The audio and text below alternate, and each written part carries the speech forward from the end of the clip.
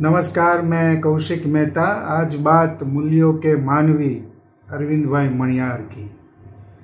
अरविंद भाई मणियार सौराष्ट्र के राजकोट के ऐसे व्यक्ति विशेष थे, सामाजिक अग्रणी थे या राजकीय नेता थे, जिसके जाने के बाद उसके जैसे नेता राजकोट को अभी तक नहीं मिला।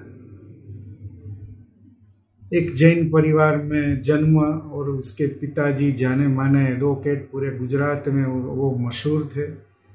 और वही वकीलात का वायरस मणिया अरविंद भाई में भी आया। पहले तो वो राजकोट की धर्मेंद्र सिंह कॉलेज में बीएससी हुए, लेकिन फिर अहमदाबाद जाके एलएलबी किया और प्रैक्टिस शुरू हुई। और वो भी बहुत अच्छी प्रैक्टिस करते थे। लेकिन सेवा के गुण बचपन से ही थे। वो जनसंघ में आए, फिर राजकोट म्यूनिसिपालिटी में इलेक्शन में वो जीत गए। फिर जब राजकोट म्यूनिसिपल कॉरपोरेशन बना तो पहले मेयर बने वो।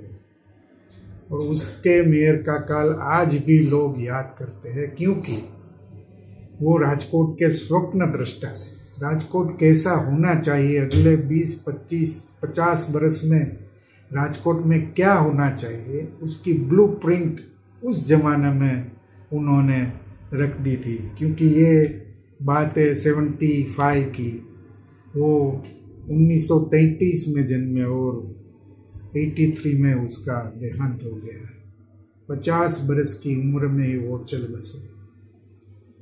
राजकोट के जो विकास का नक्शा उसने खींचा, वो आज तक काम आता है। आज के भी शासक को या फिर सब ऑफिसर्स को। राजकोट में तब पानी की समस्या थी तो भूदर भादर डैम की योजना भी उस समय बनी। राजकोट में जो गटर का पानी का प्रॉब्लम था, वो भूगर्भ गटर की योजना भी उन्होंने शुरू की थी। तो वो बताते थे कि भी अब राजकोट का विकास। अब अब रफ्तार पकड़ लेगा। फिर वो गुजरात विधानसभा में विधानसभा में भी इलेक्ट हुए। एक टर्म पूरी काम किया और विधानसभा में जब वो खड़े होते थे लोगों के प्रश्नों के लेके तो सबको वो सुनना पड़ता था। लेकिन वो फिर हार गए दूसरी इलेक्शन में। तब क्या उसने कहा था? उन्होंने कहा था अरविंद भाई ने कि मैं जो लोगों का जो चुकादा है, जो वर्डिक दिया है, वो मैं सिर पे चढ़ाता हूँ। और फिर रमूज में वो बोले थे कि लोग अभी भी मुझे गटर साफ़ करने के काम में देखते हैं, लेकिन वो हम करते रहेंगे। तो पॉलिटिक्स में अपनी हार को किस तरह से लिया जाए, ये अरविंद भाई के पास से सीखना चाहिए। अटल बिहारी वाजपेयी ने जब ये उसका, उसकी डेथ हो गई अरविंद भाई की, वो अहमदाबाद से आए थे और बीच में एक्सीडेंट हुआ कार का और वो चल बसे। तो उसके ऊपर एक स्मृति ग्रंथ तैयार कर किया गया और इसमें उसके विमोचन कार्यक्रम में अटल बिहारी वाजपेयी आए थे। तो उन्होंने बड़ी पते की बात बोली थी कि सेनापति बनने से पहले सैनिक बनना चाहिए। और अरविंद भाई मणियार ऐसे ही नेता थे। आज की युवा पीढ़ी जो किसी भी क्षेत्र में लीडर बनना चाहती है, उसके लिए ये परफेक्ट मैसेज है कि आपको नीचे से शुरू करना चाहिए। आज पॉलिटिक्स की बात हो और कोई भी फ़ील्ड की बात करें आप लोगों को सीधा ऊपर जाने की बेचैनी रहती है और वो स्पीड से काम करके ऊपर जाना चाहते हैं। लेकिन ऐसा जीवन में नहीं होता ऐसा। बहुत संघर्ष करना पड़ता है। एक के बाद एक के बाद एक के बाद ऊपर आपको जाना पड़ता है और फिर आप सिद्धि के शिखर पर जा सकते हो। अरविंद भाई ने यही बताया। मैं तब बहुत छोटा था, लेकिन वो कॉरपोरेशन या तो कोई और भी इलेक्शन आता था तो गली गली जाते थे। हाउस टू हाउस संपर्क उसका रहता था।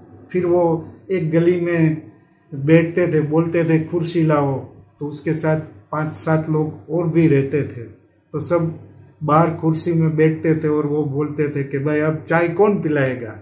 दूसरी जगह जाते थे तो वो बोलते थे, अब शरबत कौन पिलाएगा? और लोग बड़ी दिलचस्पी से उसके साथ बात करते थे और उसको चाय या शरबत पिलाने के लिए वो बेताब रहते थे। ये ऐसे नेता थे। चाहे जो भी हो कॉरपोरेशन में उस, उन्होंने काम किया सात बरस तक, या फिर धारासभा में काम किया, या फिर राजकोट नागरिक सहकारी बैंक। छत्तीस साल की उम्र में वो चेयरमैन बने थे। और राजकोट नागरिक सहकारी बैंक का एक सूत्र है, छोटे लोगों की बड़ी बैंक।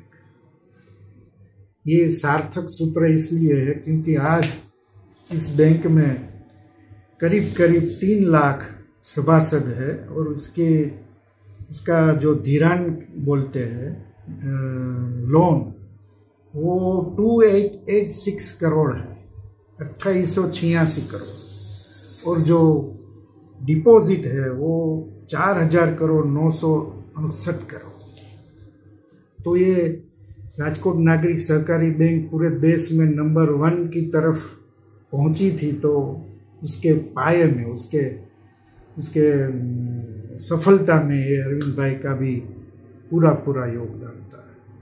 वो स्पोर्ट्स में भी रुचि रखते थे, खाने के बहुत शौकीन थे, लेकिन पचास बरस की उम्र में ही वो चल बसे।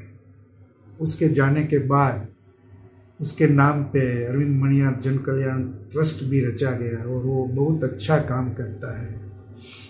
कंप्यूटर एजुकेशन का काम करता है। राजकोट की जो लैंग लाइब्रेरी है, उसका भी संचालन करता है और कई प्रवृत्ति, सेवा की प्रवृत्ति होती है।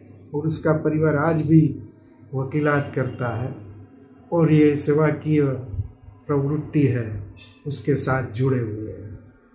सबसे बड़ी बात यह है कि वो अपने विपक्ष में भी लोकप्रिय थे। वो तो यूँ तो वो बड़ बोले थे, वो किसी को भी, कोई भी बात कहनी हो तो उसके मुँह पे ही स्पष्ट भाषा में कह देते थे। लेकिन वो वो लोगों को जीतने की कला भी जानते थे, उसमें माहिर थे। इसीलिए अरविंद भाई लोकप्रिय थे। पचास बरस उम्र, पचास बरस की उम्र जाने की उम्र नहीं होती है।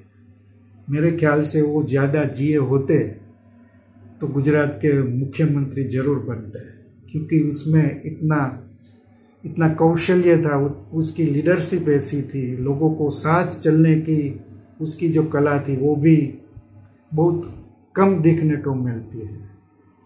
हमारे प्रधानमंत्री नरेंद्र मोदी जब राजकोट से लड़े थे, पहली बार इलेक्शन, विधानसभा का, जब गुजरात के मुख्यमंत्री बने तो वो कहीं और ठहरे नहीं थे। सर्किट हाउस में नहीं गए थे, लेकिन ये मणियार फैमिली के साथ रहे। तो उससे पता चलता है कि मणियार परिवार का भाजपा संघ जनसंघ और राजकोट के विकास में क्या प्रदान है। ऐसे नेता मालूम नहीं क्यों पैदा नहीं होते। लगता तो ऐसे है कि पूरी नस्ल खराब हो। और एक और भी गुम था अरविंद भाई के, कि वो अगली पीढ़ी को आगे रखते थे। उन्होंने खुशी खुशी मेयर का पद जाने दिया था कि भाई अब अब मैं, बहुत मैंने काम कर लिया, अब नए लोगों को चांस मिलना चाहिए। अपने आप कुर्सी छोड़ देना आज कोई भी ऐसा, ऐसी हिम्मत नहीं करता। ऐसा विचार भी नहीं करता। हिम्मत को, हिम्मत तो बाद की बात है। मुख्यमंत्री बनना बड़ा प्रधानमंत्री बनने की चाह रखते हैं लोग। मरने की कगार पर आ जाते हैं, लेकिन उसकी चाह बनी रहती है। तो ये सीखना है अरिंद भाई मणियार के पास से कि कैसे समाज के साथ सभी लोगों को साथ लेके काम किया जाए। पॉलिटिक्स अपनी जगह है, लेकिन विकास कैसे किया जाए? छोटे लोगों की चिंता वो करते थे। उसके उत्थान के लिए क्या करना चाहिए? ये सभी बातें एक साथ अरिंद भाई के चरित्र में दिखती थी। ऐसे आदमी आज नहीं है। होते तो राजकोट की सूरत मेरे ख्याल से कुछ और होती। अभी विजय भाई नए राजकोट के स्वप्न दृष्टा है। हमारे मुख्यमंत्री विजय भाई रूपाणी। तो ये अच्छी बात है। लेकिन जो रास्ता खींचा था अरविंद भाई ने, उस उस राह पर ही राजकोट आगे चल रहा है, ये खुशी की बात है। लेकिन अरविंद भाई होते तो मेरे ख्याल से राजकोट मेट्रोपॉलिटन तो बनता ही, लेकिन राजकोट की, राजकोट का विकास सच्ची दिशा में होता और छोटे लोगों को भी उसमें स्थान मिलता तो ऐसे थे हमारे अरविंद भाई मणियार। उसकी चेतना को प्रणाम। Thank you